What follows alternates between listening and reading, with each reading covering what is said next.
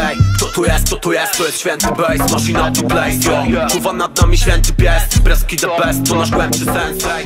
Tym akcentem rozpoczynamy dzisiejszy wywiad. Blender Rap.pl, KMC z tej strony. Ze mną dzisiaj Święty Bass, miły ATZ i Funkil.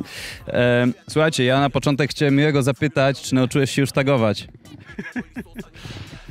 E, wydaje mi się, że jeszcze nie. A wiesz dlaczego piję, czy nie? Kurde, chyba sobie nie przypominam. Podpowiem tobie, byliśmy w zeszłym e, tygodniu, w zeszły weekend w studio na rejonie. Okej, no dobra, nauczyłem się zmywać tagi. Właśnie Żmuda nam opowiadał, że tak, dostałeś pozwolenie, żeby wrzucić e, tag pod warunkiem, że będzie ładny i okazało się tak, że generalnie spędziliście romantyczny wieczór odmalowując ścianę.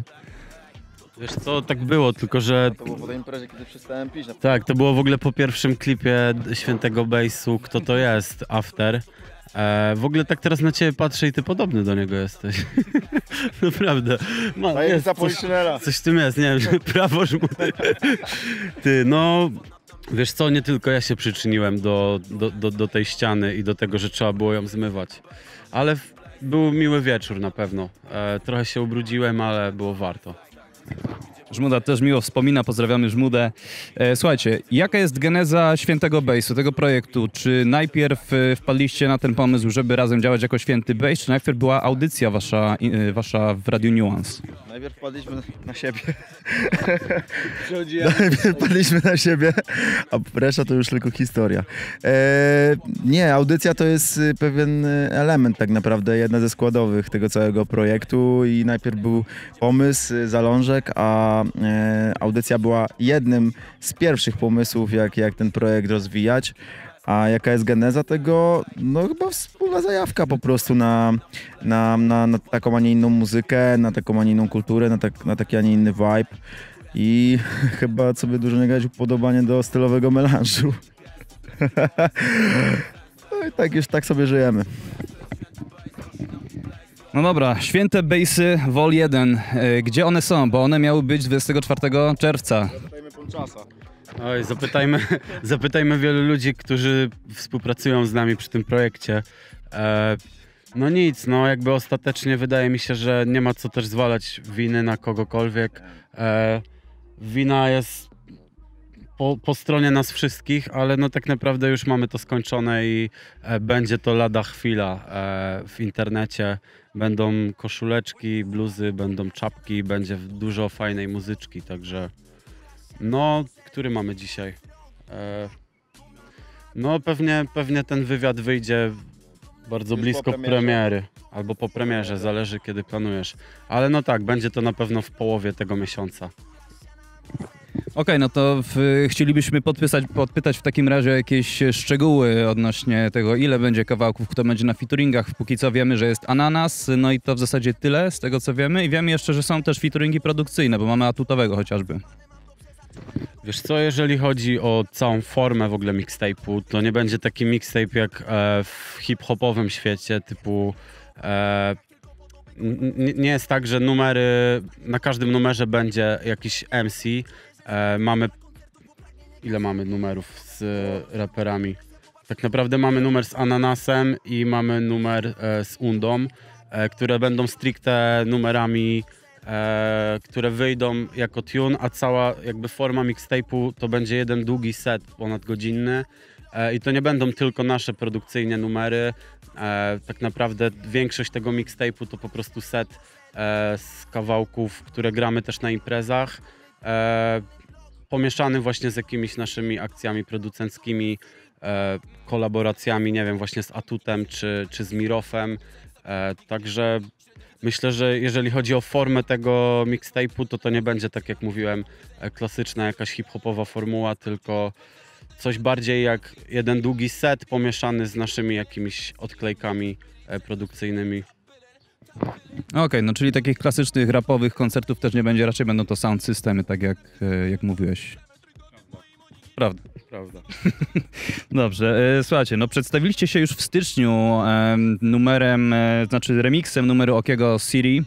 E, później był Kto to jest i to był pierwszy, to nie był singiel tak jak, jak mówiliśmy z płyty, ale był to taki luźny singiel, który wyszedł. Natomiast pierwszy taki pełnoprawny już singiel reprezentujący i promujący płytę to był numer do, do, do, do Kto to jest, przepraszam, to było, tak? Kto to jest, dokładnie. I z nim się wiąże bardzo fajna, szlachetna historia. Przybliżycie kulisy tego wszystkiego? Wiesz co, tak naprawdę jak powstał numer Kto to jest, to jeszcze do końca nie wiedzieliśmy, e, co do końca chcemy e, tym wszystkim osiągnąć. W sensie Jakby- przedstawić. chcieliśmy się przedstawić. Może... Chcieliśmy na pewno się przedstawić, dlatego, dlatego ten refren brzmi tak, a nie inaczej. Uznaliśmy, się, uznaliśmy, że forma muzyczna będzie tą najlepszą do przedstawienia się e, i rzeczywiście tak było, bo, bo ludzie w jakiś tam sposób kojarzą ten refren, jest on zapamiętywalny i mimo wszystko jest taką naszą wizytówką, którą sobie możemy e, obracać na różne sposoby. No ale oczywiście też e, jakby tworząc ten numer mieliśmy gdzieś z tyłu głowy, że to jest dopiero początek i będziemy też mogli się przedstawiać innymi numerami. I właśnie ym, taki e, też e, jest zamiar przy numerach z mixtape'u, chociażby Elipsa, czy numer z Undą, który wyjdzie wraz e, z premierą mixtape'u. No tak, ale ten kawałek w zasadzie on miał też fajny taki background, bo tam była pomoc niesiona dla schroniska, tak? Z tego co dobrze pamiętam. Nie, nie, nie. E, akurat akcja ze schroniskiem, e, nawet nie schroniskiem, co fundacją, e, która wspiera schroniska i w ogóle działa jakoś tak autonomicznie, jeśli chodzi o Gniezno, miejsce, z którego jakby pochodzę. E, wyszła wcześniej w trakcie audycji, po prostu e, wpadliśmy na taki pomysł, żeby, żeby zrobić taką zbiórkę. Zbiórka już została zakończona e, w końcu e, zwycięstwem tak naprawdę, bo zb- uzbieraliśmy e, 1000 zł. No i będziemy się starać je przekazać wkrótce. E, więc jakby pomysł na zbiórkę padł wcześniej, a że jakby wydaliśmy numer, to link akurat był e, pod spodem e, w opisie numeru. E, no ale wracając jeszcze do numeru, kto to jest, no to e, jakby wydaje mi się, że jeszcze wtedy nie mieliśmy pomysłu na to, żeby robić ten mixtape. E, wszystko wyszło tak spontanicznie, myślę, że w, następnym, w następnych miesiącach i tak naprawdę mixtape powstał w ciągu ostatniego miesiąca lub dwóch e, na, na lekkich, wariackich papierach, ale myślę, że będzie fajnie. No dobrze, to my się jeszcze uzbrajamy trochę w cierpliwość do, do dnia premiery mixtape'u. Mm, Miły, gratuluję e, wydanej płyty w Def Jam. E, Chciałem cię zapytać o kulisy tego, jak do tego doszło. Kulisy tego... Wiesz co? O kurde, to teraz sięgnąłeś do... do... ci podsunął kontrakt, jak byłeś najebany w autokarze. Tak, tak, tak. No coś w tym jest. Coś w tym jest. E, wiesz co, wydaje mi się, że jakby no na pewno wyjazd młodowilczy, o którym gadaliśmy jeszcze wcześniej e, w związku z, ze smakiem, e, który poczułem. e, no tak, na pewno to się tam zaczęło, między innymi sympatia moja i jednego z e, już chyba niepracujących tam e, ludzi. E, no i co? I jakby widocznie tak miało być. Jakby mega się cieszę, że tak się stało. E, może w tym momencie bym podjął inną decyzję, ale tak miało być i, i, i, i cieszę się bardzo. Funkil, e, powiedz mi, trafiłem w sieci na taką e, audycję Cam Session numer 9 e, i chciałem ciebie zapytać. No słuchaj, internet nie zapomina. Chciałem ciebie zapytać, czy ty grywasz jeszcze house'owe imprezy? Czy ci się zdarza? E, Znaczy, wiesz, jakby ja zawsze podchodziłem do grania tak bardzo eklektycznie i oczywiście gdzieś tam operując w uniwersum rapowym, e, zawsze byłem z tym kojarzony, ale grając sety nigdy, nigdy jakby nie, nie sprowadzało się tylko do grania tego typu muzyki. Gdzieś tam z tyłu głowy zawsze miałem zajawkę właśnie na takie uptempowe rzeczy, zresztą co jest odzwierciedleniem w projekcie Święty Bass. Więc tak, zdarza mi się zresztą nawet na, na naszym projekcie, czy w obrębie naszego projektu takie rzeczy, takie rzeczy się dzieją. Może już, e, no bez kitu, to było dwa, nie no, 10 lat temu. To była wtedy, była wtedy zajawka na deep house i jakieś takie pokrewne rzeczy i takiej muzyki już raczej nie gram, ale, ale gdzieś tam takie melodyjne pociąg takich melodyjnych rzeczy mi został i czemu nie? Mi się wydaje, że właśnie Święty Bass jest też takim przedłużeniem takich naszych zajawek, e, moich osobiście z czasów Mordoru, a twoich najwidoczniej sprzed 12 lat. Z, z czego? Z o Camp? Nie, jak? Nie, Camp Session Śmieję się. i Boiler Room polski. O, zajebiście. Znówmy boiler roomy w Polsce. Ten post- postulat popieramy. E, słuchajcie, co do zajawek, to e, chciałem cię miły zapytać, bo tutaj e, nie wiem, czy wiecie, ale to jest pan piłkarz, były, ale jednak. Czy jeszcze uprawiasz sport, czy jakbyśmy teraz wyszli na piłkę, mogłoby się to zakończyć jakimś ciężkim kalectwem? Mam bliznę. Nie no, grałem ostatnio w piłkę. Co prawda gram dużo, dużo rzadziej niż kiedyś, ale jakoś w bodajże środę e, albo we wtorek graliśmy w piłkę. No, było ciężko, bo temperatura była hardkorowa, ale tak, chciałbym, chciałbym częściej. Chciałbym częściej grywać.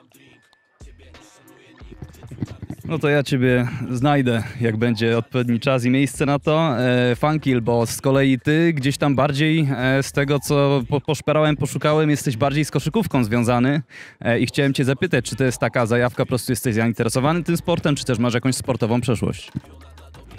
Po prostu siłą rzeczy przez mój wzrost zacząłem grać w koszykówkę. nie miałem pomysłu na siebie. Po prostu Iversona. Nie, no powiem ci, że jakby ja od dziecka uprawiałem dużo sportu i zresztą w piłkę nożną też grałem w klubie, więc, e, więc a jeśli chodzi o koszykówkę, no to jakaś tam naturalna e, zajawka, e, która przeszła z pokolenia na pokolenie w mojej rodzinie i, i pomimo mojego wzrostu umiem grać w kosza. Oj, ci powiem, że wsady takie wali, że... Umie Tak, biały umie, umie skakać, chociaż ja nie wiem, czy jestem biały, czy czarny. To wiesz, czasami jestem taki, a czasami taki. Ale tak, koszykówka, koszykówka na ten moment bardziej, chociaż e, oglądam to i to, ale e, e, jakby aktywnie uprawiam e, w sumie wyłącznie koszykówkę póki co. Jeśli chodzi o sporty zespołowe. A, no i święty base. Na siłkę zapisałem ostatnio. Chwalę się dzisiaj wszystkim. Siłka, piłka, koszykówka do mojego kolegi strzelali z ostrej amunicji, Na ślizgu. bo taką oni mają.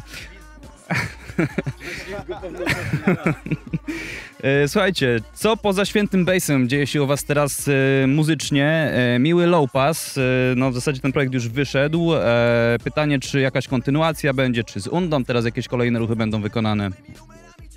Co jeśli chodzi o ruchy muzyczne w tym momencie, to z grubsza teraz po prostu sezon koncertowy, graniowy jako święty bass. Gramy też jako low pass, gram kilka koncertów solowych.